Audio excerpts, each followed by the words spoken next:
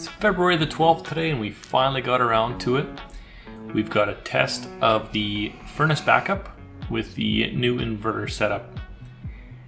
And spoiler alert, it kicked ass. So, the conditions of this test. Uh, today outside it is minus 31 degrees Celsius close by where I live, and there's a clipping of a news or a uh, weather network brief to verify this. And I just let the system run as it would normally run, kicking the fan on and off, kicking the heat system on and off, and uh, started it up and just let it go. Here's an overview of the system. If you guys haven't already seen the video, I will leave a link up to it here somewhere and you guys can check out me installing this thing. If you like, you can even watch me uh, put the APC in and fail on that before I finally got a good system uh, up and running. So the inverter I'm using is a Xantrex. The uh, charger that I'm using in the back there is just a 12 volt maintenance charger. And it's got a pulse mode that's supposed to keep the batteries in good condition as well for a long period of time. Kind of like a storage charger, just a small 2 amp charger. There's a line that goes in, line that comes out, and uh, it automatically switches over on itself so I never have to worry about engaging the system. It's uh, pretty much a hands-free walk away and it'll do its thing.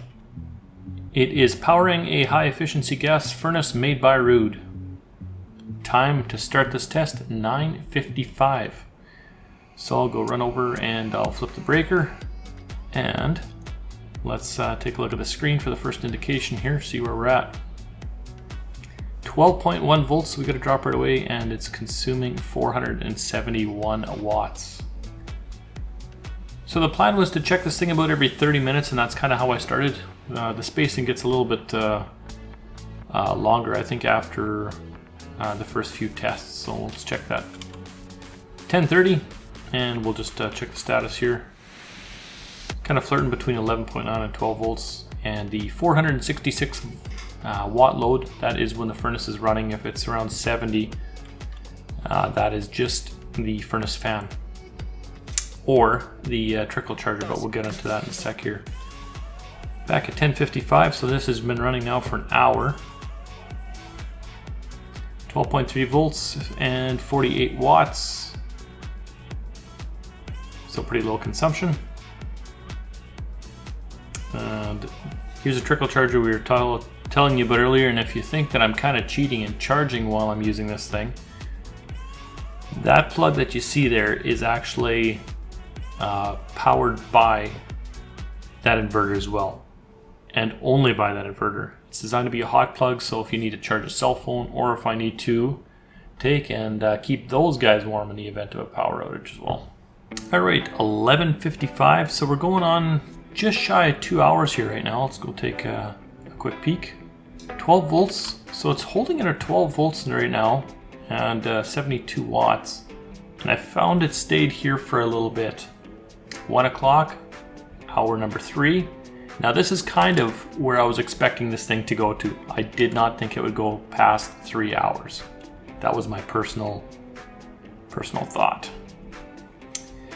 We are at back to 11.9 volts and the load is light.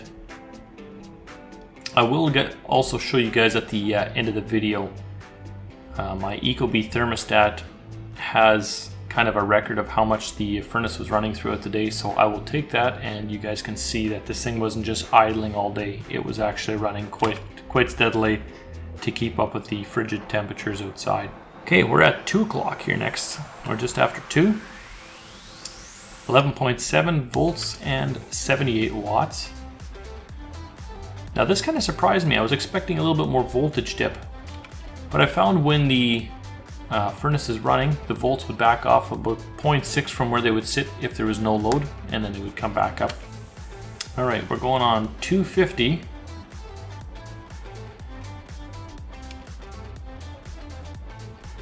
And here's just proof that uh, the furnace is actually operating completely normal. Burners are giving her.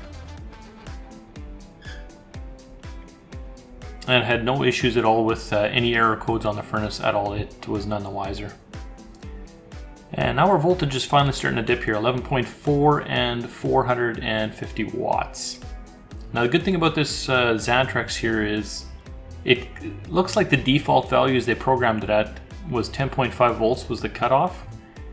And I was thinking initially that was kind of too low, but after kind of seeing how the voltage uh, dips and then comes back up on its own, I think I'm gonna leave it at that default setting. I, I kind of like where it's set up. It seems coming up here at 10 after 4, so now we're going on uh, 6 hours and about 15 minutes. And now this is the first time you can kind of see 11.1 and it is running again, 440 watts used. And that is it. I heard a beep at 420 and it was a new beep so it means it's coming from the Xantrex so I uh, ran right over to take a look and uh, you'll see what I'm seeing here. 10.9 volts and I've got a 05 warning which uh, did not know at the time so I'll pull out the book and show you guys. 98 watts used. Furnace fan is running. Everything is still operating normal so keep that in mind. And the one thing that's kind of got me puzzled here, the battery indication uh, on this thing is still showing me that I have battery life left. And according to that, it would be still somewhere around uh, 50 to 75, but I don't think that's right. I think if I would have pushed it a little bit, I would have maybe got another hour out of it, just kind of basing it on how the volts were dropping over the last hour. So error 5, as I suspected, uh, it's a low battery and you can see uh, here's the manual and the error code. I mean, it has a potential for other battery issues, but I know it's definitely the low battery just based on what we are doing today. So I'll uh, go turn the breaker back on. Now with the breaker back on, you can see the uh, Xantrex goes right back into bypass mode and it's being supplied again off of utility power. Cool thing here is you'll notice right away the battery volts is, is as I mentioned here, it just hops right up again like a 0.7. So could I run it longer? I could have definitely gone longer on it, but I wasn't going to run it to destroy my batteries either. I, this is more of a just a, a kind of a test to see how far it would go. And I am extremely happy with this result. The uh, final time on this thing here that it ran was from, there you have it, 9.55 in the morning until 4.25. So we got a good six and a half hours that this puppy ran. I, uh, I gotta say, I'm very, very impressed. I was expecting about two to three hours, maybe four if I was lucky. With the temps being freezing cold outside today and the furnace running as much as it had to to keep up, and uh, the graph is gonna be right here. You guys can kind of take a look. The uh, orange bars at the top are every time the furnace cycles, and the white bars are the furnace fans. So you can see the furnace has definitely done its job today. I'm blown away. I'm impressed. Absolutely love the setup. The only question is duration of time. And if this thing goes for a while, I am loving it. Peace of mind that uh, my family has got a little bit of a fail safe here in case I am on the road and I can't fix it up. If you like the video that you've seen here today, thumbs it up. Comment if there's anything that you noticed that I could have done better or something that I missed uh, or something you'd like to see me test on the setup. And uh, if you haven't uh, already done so, subscribe to my channel. It lets uh, YouTube know that you're happy seeing my mug, giving you all kinds of random information.